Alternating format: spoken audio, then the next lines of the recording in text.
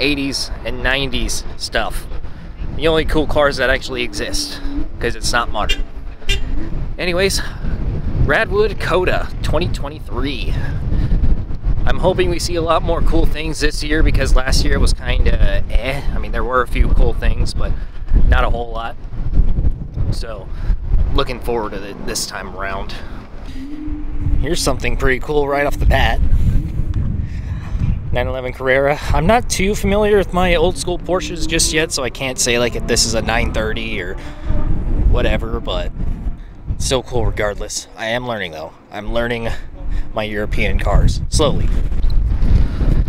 I'm not even joking, I was this close to walking right by these things. Two ACRs.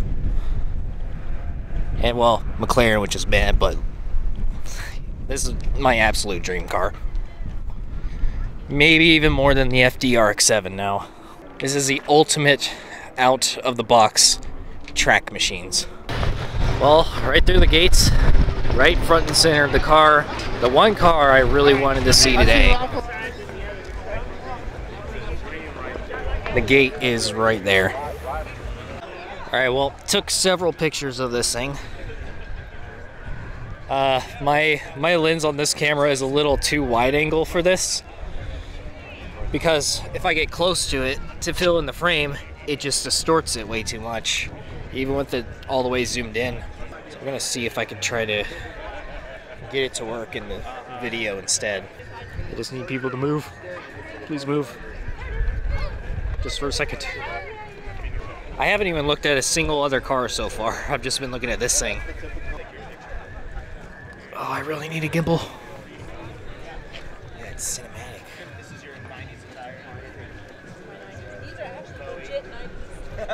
cinematic. Alright, I think I've gotten all I'm going to get out of this thing. This is the one car I wanted to see today more than anything, and it's here. Wasn't here last year, unfortunately, but I finally laid my eyes on an F40. Gorgeous. Now, I'm not personally familiar with this Countach, but I'm assuming it's some kind of special edition, of course. And as you can see, oh, focus, you fuck. Thank you. Pristine interior. All red on the inside. Not the biggest fan of Countaches in general, but I can still respect them. Hey, your red a little out of date there, bud, but pretty cool. Old school Elise. That interior is bare bones. Wow. Zero nonsense. Well, looks like we're gonna be getting some clap stuff in here again. I don't know why, but uh, I, I mean, I guess this one's tuned up, so makes it better. But still, there's a I can see a few clapped ones in here already. This FD is interesting. Montego blue, second best color after snow white pearl mica.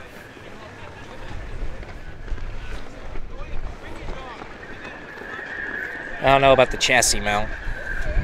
I don't like uh, I don't like customized FDs or anything like that in general. I like them stock, but still nice. R32. This thing looks bone stock. I can dig it. I know somebody watching this is going to be interested in these Volvos. I don't know much about them. Five cylinder. Transverse five cylinder. That is actually pretty cool. Interesting wrap on this 33. Oh wait, this is what the fuck? Okay, this is really interesting. This is a 33 front end on a. Is this an R32 body?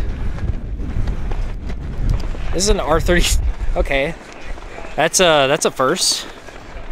R32 body with a 33 front end. I don't think I've ever seen this combo before. Like, I'm not even joking about that. I actually don't think I've seen this before. And it looks like this is paint too. So that's not a wrap. Yeah. Is it yours? Oh, nice. I've never seen a 33 front end on a 32. No. 3000 GT. VR4. These things are too underappreciated.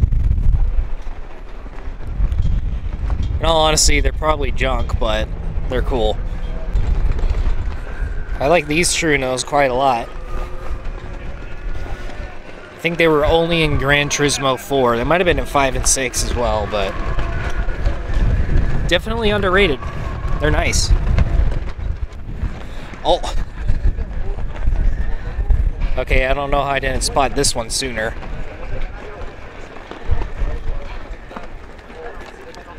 In case you don't already know, I am obsessed with FB RX-7s.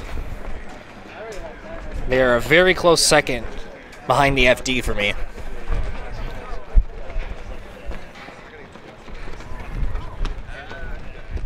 Super nice.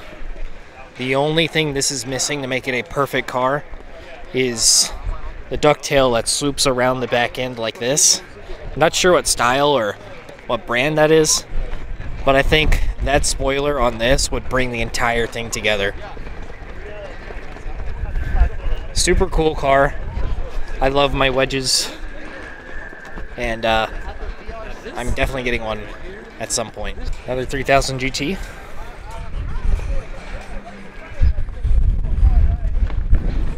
Left-hand drive one.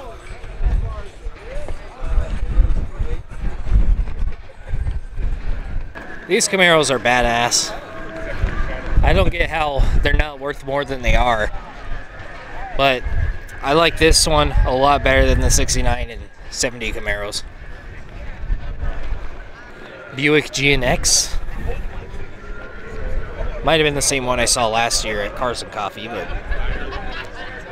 also another American favorite of mine. I know someone in the comments is going to like this.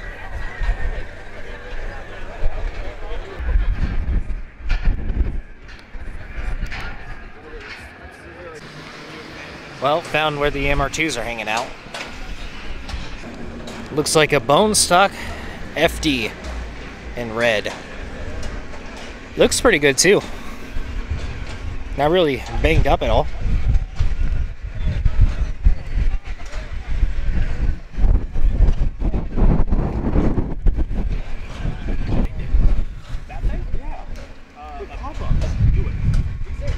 Nice. It's kind of sad these days how unmolested FDs are becoming more rare. Everybody wants to do pop-up deletes and put on ugly ass kits. Nah. Not for me. I found it. The AZ one from last year. It is just crazy how small this thing is.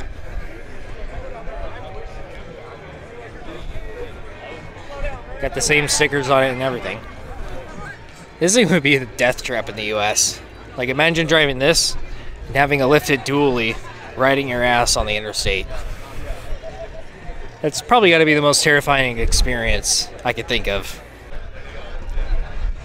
Guys, I don't even know where to start.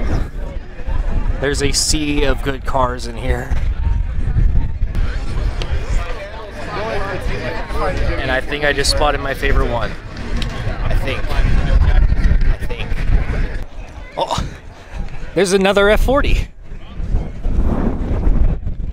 There's an F40 right there. You can probably barely, barely see it. And there's an F40 right here. Two of them. Where were y'all last year? Oh, And there's not a lot of people around this one either. And with the grass, I could get better shots. Well, I'm probably going to be spending a lot of time around this one. Amazing.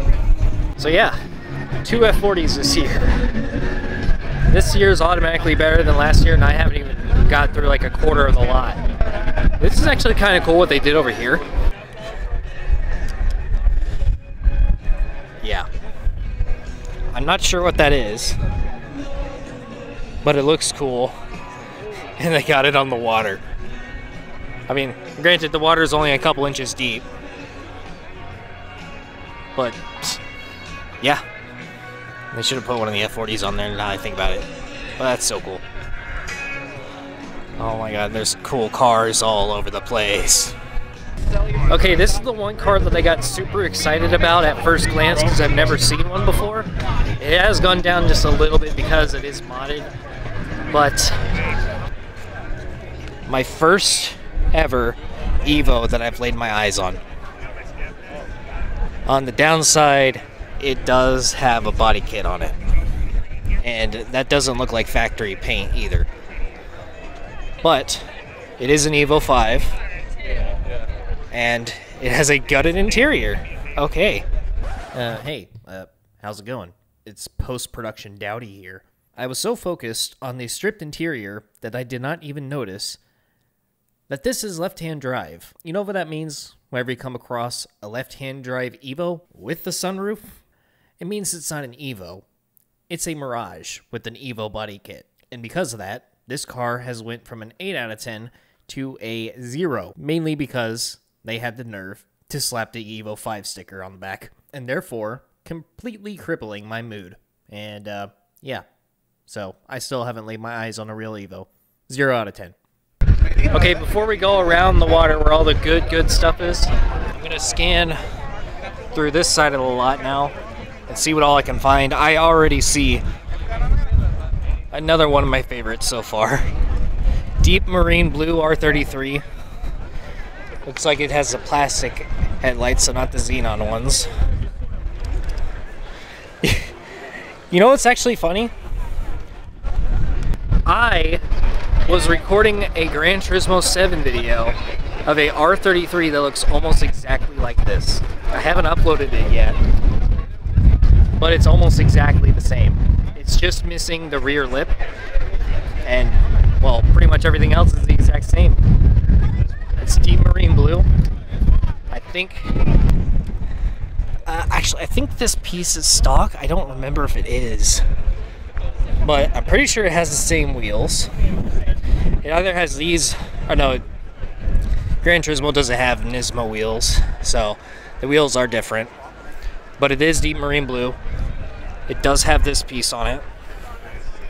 it does have the sticker, of course, but it's close enough. What a coincidence. Deep marine blue is probably one of my favorite R33 colors. So, we got another one right next to it. Looks like it's a little bit more done up. BBS wheels, side skirts. Uh, not the exact same spoiler, but oh, V-Spec. That's definitely some bonus points right there.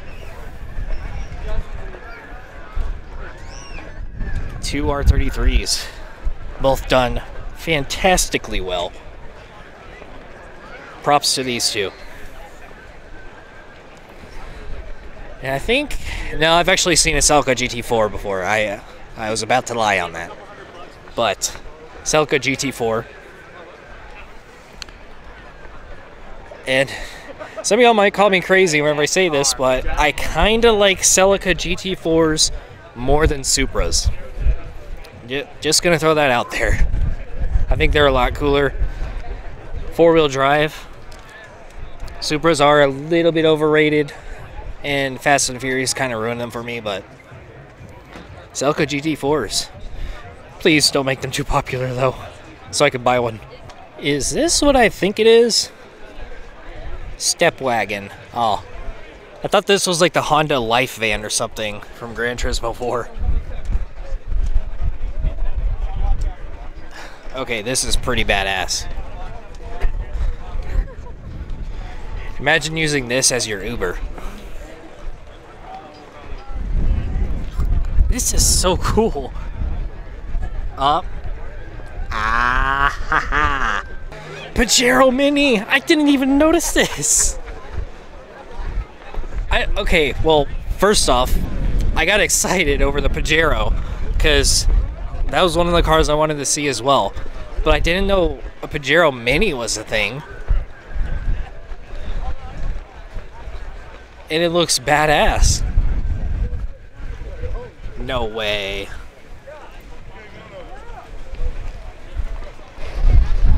Unless he's memeing. 6900 bucks for this thing? Oh, instantly. Instant buy. Instant buy. This is amazing. I love cars like this. You, you don't see them in the States. Like, if you saw this in Japan, you'd probably be like, meh. Like, whatever, just another Pajero Mini. But to see something like this in the States is just nuts to me. Imagine, like, so, imagine, like, maybe a three inch lift on this, mud terrains, and then you take this to Moab as a rock crawler. It might be easy to topple over. Well, probably not. I don't think I don't think this would be that top heavy. But imagine taking this to Moab. That'd be the trip of a lifetime. Another FB GSL SE. That rhymed. Lol.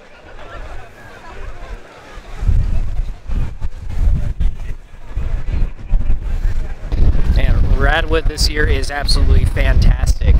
Not even halfway through the lot yet, and I'm finding so many cool things I didn't see last year. Awesome. 10 out of 10. I'm sure somebody would get a kick out of this. Toyota. Wow, this is a Toyota? At first glance, I thought this was like a Land Rover or something. I can't really see inside, and I'm not about to mush my lens against the window. Can I get a peek? Not really. Yeah. Um, if you show me a picture of this with like Land Cruiser, with Land Cruiser blurred out, I would have never guessed this was a Toyota. We got an E36 wagon right here. I'm sure a lot of people like this. I actually like this a lot too. If there's any BMWs I like, it's E36s. But wagons are kind of cool, not gonna lie. Suzuki something. What is this? That's a left-hand drive. Interesting.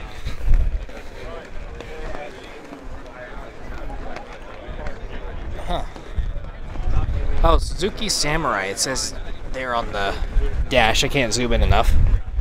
Okay, here's another semi-rare one.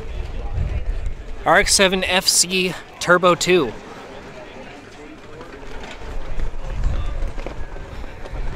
Nice. Super nice.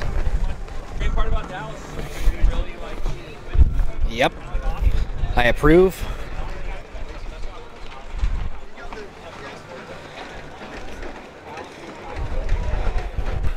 E30 M3.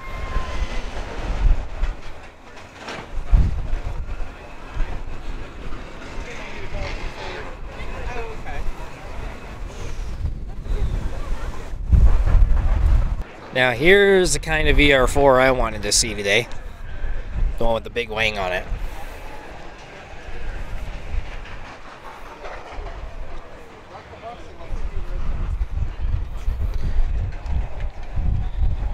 The GTO.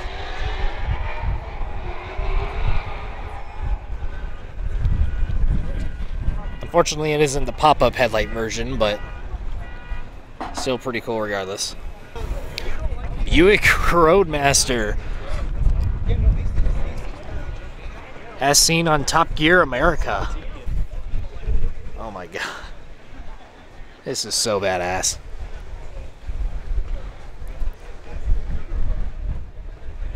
Rutledge Woods dream car, apparently. I can't believe they destroyed one of these on Top Gear. Kind of sad. The only cool Volkswagen there is.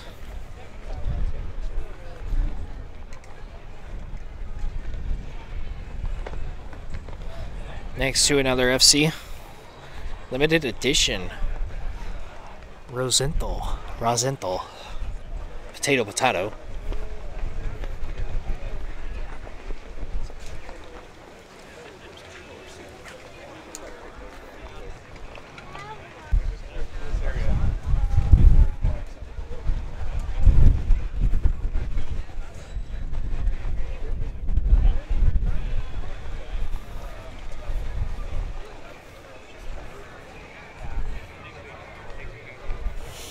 Right across from these, NSX, Targa Top.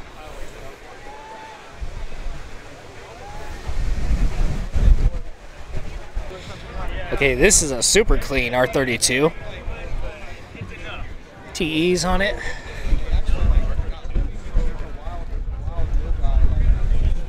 And is it a V-Spec? Oh, no V-Spec. Still cool though. Still cool. Gosh, that is meaty. Look at that. Oh, I didn't even notice the red one right next to it. The white one caught my attention. But this is the best color for R32s, in my opinion. Oh. Trial seats. Interesting. My attention span is so limited right now, I didn't even notice the R33 four door next to it. And on the other side, R32 Nismo logo based. Nice valve cover. Stock ish interior. Nice. Alright, now it's time for the real good stuff. We already seen a few real good things actually now that I think about it, but more real good stuff. Because we're in the center area of the event. Got another R32. It has a it doesn't have GTR badges on it, but it doesn't look like a GTST. I guess they just did a badge delete. I'm just gonna assume it's already a R32 GTR with the badge delete, so we'll just go with that. Nicely done prelude. It definitely looks like a respray, but pretty good respray, I gotta say. I took a quick glance at this and I thought, wait a minute, is this a base Lancer? But no, it's a Mercedes. It's a Mercedes.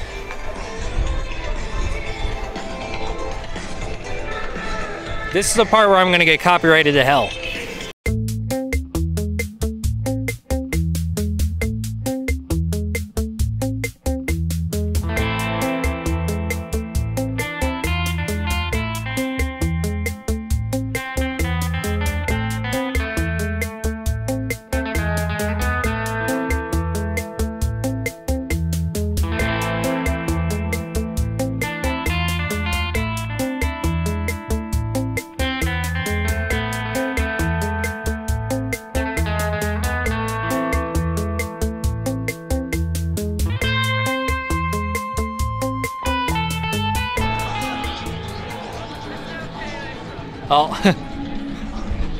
Know if this is a legitimate plate or not, but somebody actually has the Radwood, Texas plate on their Esprit. And you have another Esprit right over here.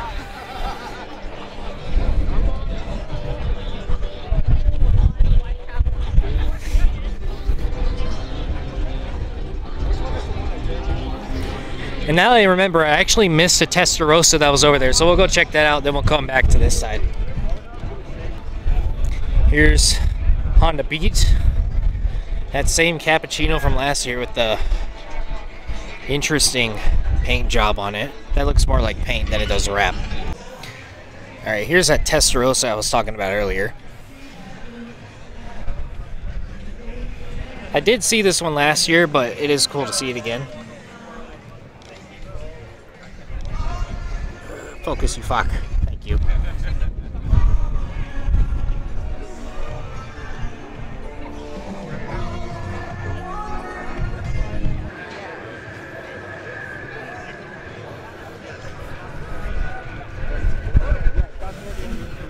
Pristine interior.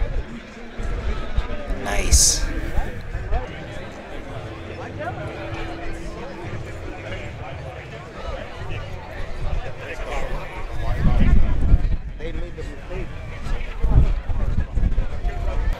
Here's the four-door Integra Type R that I saw last year. Insanely rare. One thing that I've been growing an interest in recently is motorcycles. And they have a lot of stuff here. I'm not really familiar with many motorcycles yet, but I really want one. Mostly a supermoto. But I know quite a lot of people that are watching this are going to be pretty interested in this stuff they'll be able to pick or know which one's which. And it would be nice for them to see what they like. There's just a lot of people. This thing's tall. KLR 250. That's a big bike. Okay, I was just about to say I think I've seen everything. I'm satisfied now. No, I haven't seen everything. Because right in front of me, right now, is a Ford RS200. Scratch this one off my car spotting bucket list. Oh my god. I kind of wish they had that down right now just so I could see the whole car, but...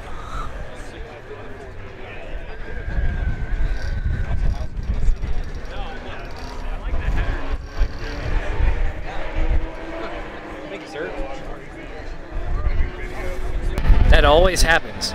Every time that I say, all right, I think I've seen everything, we can go now, something cool pops up. So I'm gonna keep doing that in hopes that I run into some more cool shit today.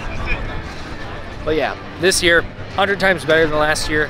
There's still a few things that are absolutely clapped, but it's not that bad. Um, as far as those cars go, of course. Yeah. But there's definitely much cooler cars here this time around. There's a few that are missing from last year. There's a few cars that I wanted to get off my bucket list, but they just weren't here today. So it is whatever. But overall, this year is so much better, and I'm glad I came down to this one.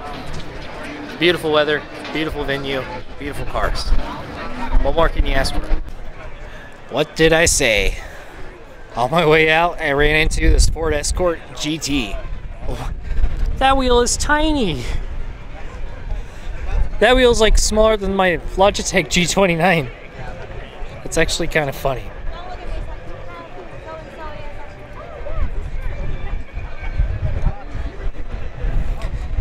Another really super cool car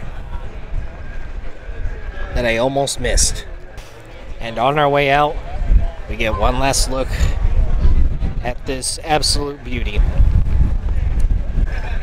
Okay, I thought I'd throw this one in as well. Toyota Sera. Really, really badass.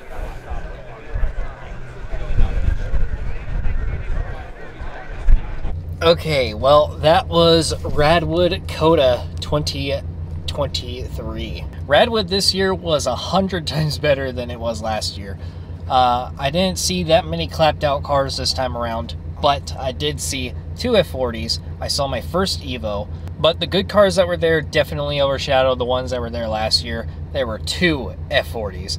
Lots of really nice looking Porsches. My first old school Evo that I've ever seen. Mini Pajero was easily one of the top fives. And um, yeah, this is why Radwood is definitely my favorite car show of the year. Uh, Cars and Coffee is alright and all because like you get a little bit of everything, but modern cars just cannot stand up to 80s and 90s stuff. But yeah, pretty, pretty sweet event today. But yeah, uh, I hope the audio comes out fine because it was pretty loud and very windy. And I also hope that I was doing good camera work as well because I was fiddling around with the settings here and there.